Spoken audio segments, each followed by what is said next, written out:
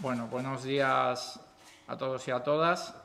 Creo que, cualquier demócrata tiene que tener en estos momentos eh, los pelos de punta por lo que acabamos de escuchar. Creo, creo que hoy es un día terrible para, para la democracia en España. Parece, parece evidente que, que el Partido Popular, que el señor Mariano Rajoy, que recordemos que capitanea el partido más corrupto de Europa, acaba de suspender la democracia en Cataluña y, por lo tanto, acaba de suspender la democracia en España.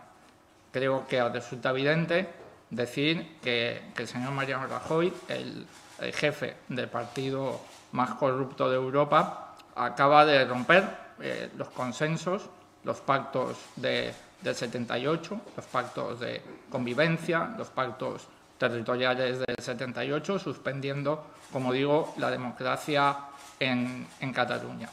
A partir de la aprobación por parte del Senado, es evidente que el Senado va a aprobar lo que acaba de anunciar Mariano Rajoy, dado que tiene mayoría absoluta, no le hace falta ni siquiera los votos del Partido Socialista y de Ciudadanos.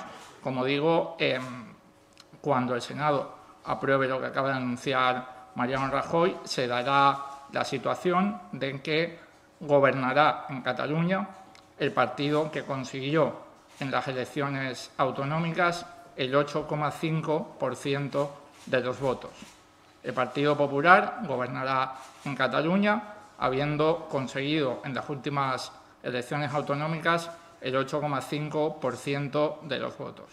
Como digo, estamos ante un día histórico en lo, terrible, estamos ante un día en el cual se ha suspendido la democracia en Cataluña, eh, ante un día en el cual se han roto los pactos del 78 y creo que en estos momentos cualquier demócrata tiene que estar conmocionado, tiene que tener los pelos de punta y tiene que estar muy preocupado por la deriva que está tomando la, situación, como digo, capitaneada por el, por el partido más corrupto de Europa, pero apoyada también, y esto hay que decirlo, por un bloque monárquico formado en estos momentos por el Partido Popular, el Partido Socialista y Ciudadanos, que están poniendo en peligro la convivencia en nuestro país, están empujando a Cataluña fuera de España y están bueno, pues suspendiendo las normas más elementales de,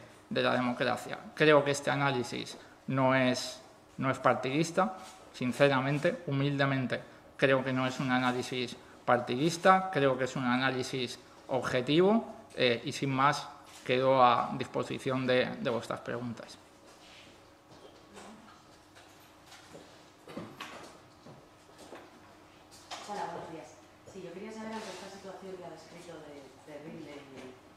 Ha llegado a decir que supone el, que se suspende la democracia en España.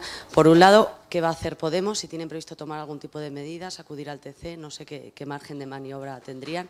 Y por otro lado, si esto supone ya la ruptura definitiva con, el PSOE, dado que está dentro de ese bloque monárquico, como le ha llamado, que apoya estas medidas que suponen la suspensión de la democracia. evidentemente, en estos momentos estamos, como digo, en, shock eh, por por la suspensión, por la suspensión de la democracia no solamente en Cataluña, sino en el conjunto de España, porque Cataluña forma parte de España y, lo, seguirá, y lo seguirá formando a pesar de que el Partido Popular intente empujarla fuera de, nuestro país. Evidentemente, tendremos que reunir a la ejecutiva de, Podemos para, para decidir qué hacemos de ahora en adelante. Evidentemente, lo que nosotros vamos a seguir aspirando es a echar a Mariano Rajoy, a, a, un presidente pirómano del, gobierno, gobierno de España. Vamos a seguir trabajando para, para conseguirlo. Y respecto del Partido Socialista, yo creo que la gente no, no va a olvidar, yo creo que la gente no va a olvidar que, Pedro Sánchez hablaba de la dimisión de, Mariano Rajoy, que, que Miquel Iseta durante la campaña de,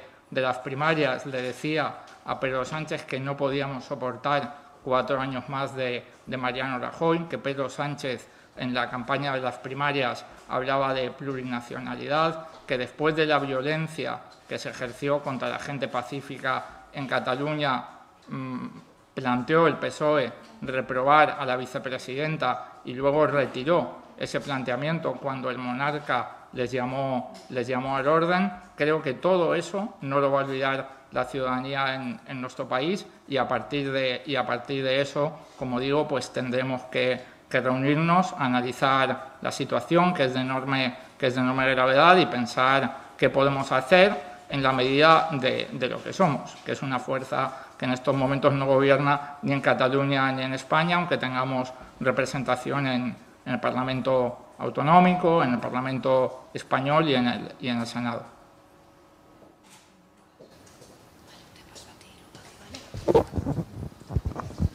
Hola, muy buenas tardes. Eh, yo quería preguntarle, eh, a raíz de la entrega ayer de los premios Princesa de Asturias, eh, bueno, mm, digamos que mm, representantes de las principales instituciones europeas mostraron su respaldo al, al gobierno.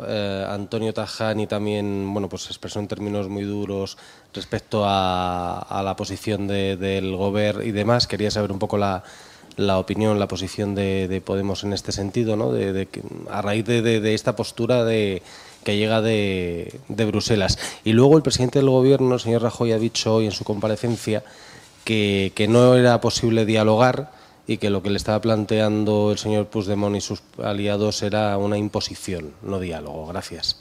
Sí, respecto a lo primero, creo que, creo que es evidente que la Unión Europea quiere señalar a, España mintiendo, haciendo un relato falso como un país que representa el éxito de la austeridad.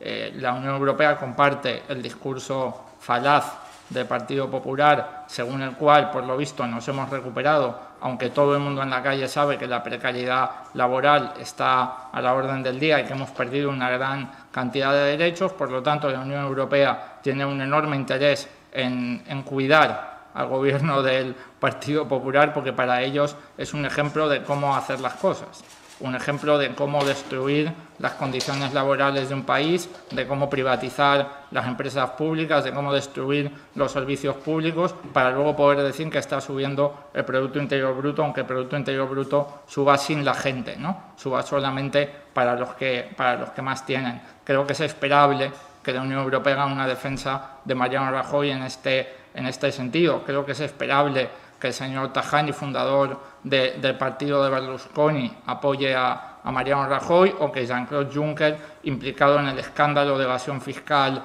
cuando él era primer ministro en, en Luxemburgo y las empresas multinacionales europeas y de todo el mundo escondían sus capitales en Luxemburgo para pagar el 1% de impuestos, pues apoye a Mariano Rajoy, al, presidente de las amnistías fiscales, al presidente de los ministros que tienen cuentas en, Panamá. Creo que ese apoyo es completamente esperable y completamente lógico. Respecto del diálogo, bueno, todas las excusas que ha dado Mariano Rajoy para no, para no dialogar se caen por su propio peso cuando uno recuerda que José María Aznar negoció con ETA. ¿no? José María Aznar negoció con ETA, que era en estos momentos una banda terrorista en activo. Creo que más fuera de la ley que una banda terrorista en activo no se puede estar y el señor José María Aznar los llamaba Movimiento de Liberación Vasco y negociaba con ellos. Creo que es evidente que el señor Mariano Rajoy no ha dialogado con la Generalitat porque no ha querido, porque ha hecho un cálculo político según el cual analiza que incendiar Cataluña y suspender la democracia en España le viene bien electoralmente al Partido Popular. Creo que estamos ante, ante un caso de manual en el cual un partido político decide poner sus intereses de partido antes que los intereses de España, antes que los intereses de su país. Y eso es enormemente irresponsable. Ningún presidente de gobierno debería actuar en contra de los intereses de su país para salvar a su partido. Creo que estamos viendo un caso de manual y la negación del diálogo, que es lo que pide, por cierto, el 80% de la gente en nuestro país, tiene que ver exactamente con esto. Sí, gracias. Em, en función de esta reacción, entonces, eh, es muy posible que hoy, que incluso, bueno, este fin de semana, la semana que viene, la situación en Cataluña va a ser complicada a nivel social, en la calle, habrá protestas, habrá manifestaciones, ha habido ya algún tuit del secretario general de Podemos en Cataluña para que pide estar a la altura de la gente o que anuncia que estarán a la altura de la gente. Eh, ¿Cuál va a ser la postura en este caso de Podemos sobre estas protestas, sobre estas manifestaciones? ¿Piden a la gente que se manifieste y que proteste en la calle a raíz de lo que ha ocurrido? Y luego, en segundo lugar, si el gobierno catalán se resiste a entregar las competencias o a salir de los despachos, ¿cuál va a ser la postura de Podemos? ¿Piden al gobierno catalán que facilite un poco esta transición ya tal y como están las cosas o que haga lo contrario? Bien, como digo, es demasiado pronto como para pedir nada. Creo que hay que llamar a la, calma. Eh, en, todo lo que tenga que ver con esta situación, creo que hay que llamar a la calma. No hay que actuar, no hay que actuar como acaba de actuar el señor Mariano Rajoy, incendiando nuestro país, incendiando Cataluña, incendiando España, suspendiendo la, la democracia.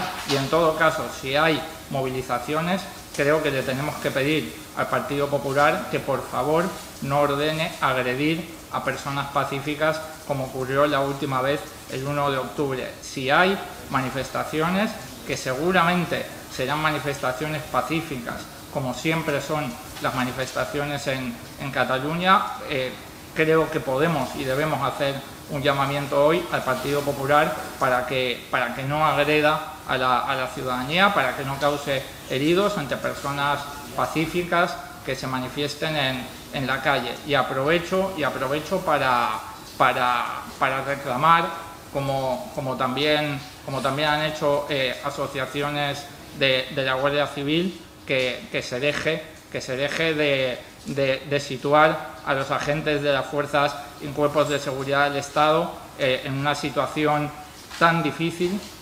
malviviendo en, en condiciones lamentables de vida en, en unos barcos con con, horas de descanso eh, completamente injustificadas, eh, sin, sin, rotación de, turnos, cobrando, cobrando, menos dinero que en, operativos, que en operativos normales, que no se esconda el gobierno detrás de la, de la Guardia Civil, que, que, no se esconda detrás de las fuerzas y cuerpo de seguridad del Estado y que desde luego no los utilice, no les ordene eh, pues provocar lo que vimos el 1 de octubre, que fue absolutamente lamentable para una democracia moderna y una democracia europea. Creo que hasta ahí podemos hacer el llamamiento y en todos los sentidos llamar, llamar a la calma. Intentemos hacer lo contrario de lo que está haciendo el Partido Popular hoy. Intentemos, intentemos apagar los fuegos en la medida de lo posible, aunque el Partido Popular insista en encenderlos. Hola, buenas tardes. Eh, parece ser que ayer hubo una reunión secreta entre Miquel Iceta y Puigdemont eh, en el que Iceta le hubiese pedido que o convocase elecciones o pidiese un pacto de Estado en el Senado por Cataluña. ¿Sabes si hay algún tipo de, este, de movimientos como este? ¿Y están hablando ustedes con, con la Generalitat o han hablado con algún cargo de la Generalitat? Eh, después de, quiero decir, he salido inmediatamente después de ver lo que ha dicho Mariano Rajoy, no hemos tenido ocasión de hablar con nadie. Cualquier iniciativa llamada a rebajar la tensión es, es bienvenida. Eh, y hablando del señor Iseta, como digo, eh, me gustaría recordar ese, ese meeting eh, en el cual, entre otras cosas, le pidió a Pedro Sánchez que, que, no, que hiciera todo lo posible para que no tengamos cuatro años más de, de Mariano Rajoy. Hemos pasado, hemos pasado de de un Pedro Sánchez que, que, pedía la dimisión de Rajoy a un Pedro Sánchez que apoya a Mariano Rajoy y de hecho eh, saca pecho las entrevistas públicas que hemos visto en los últimos días de, de, ese, de ese apoyo, ya que, ya que sacamos la iniciativa del señor Iceta, que es, que es bienvenida como cualquier iniciativa al diálogo, creo que no está de más recordar ese meeting que, que vimos, que vimos muchos en la televisión, en, en, en el cual el líder de, del PSC le pedía, le pedía a Pedro Sánchez, por favor, que no tuviéramos cuatro años más de Mariano Rajoy, porque lamentablemente en estos momentos el Partido Socialista está haciendo todo lo contrario y yo creo que hay muchísima gente que no lo, no lo va a olvidar.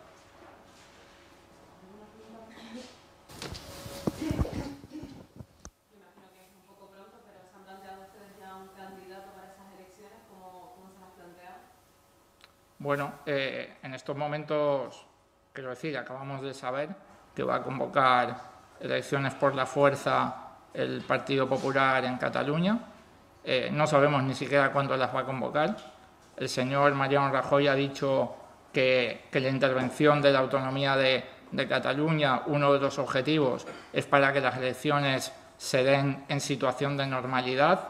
Eh, viniendo esto de un partido que está acreditado que asiste a las elecciones dopado, que asiste a las elecciones pues financiándose ilegal, ilegalmente, viniendo esto de un partido que ha utilizado el Ministerio del Interior para difamar, para fabricar pruebas falsas contra sus rivales políticos, da miedo pensar en lo que entiende el Partido Popular por condiciones de, normalidad para que unas elecciones en Cataluña. En todo caso, todavía no sabemos cuándo, van a ser y tenemos que analizar la situación. Por supuesto, nosotros pensamos que tiene que haber una candidatura de, unidad en el espacio de cambio en, Cataluña, de unidad entre Podem y Cataluña en común, pero no hemos empezado a hablar de candidatos o, candidatas. Tendremos que analizarlo en el futuro y, en todo caso, tendrán que votarlo, tendrán que votarlo las bases de, tanto de Podem como de Cataluña común.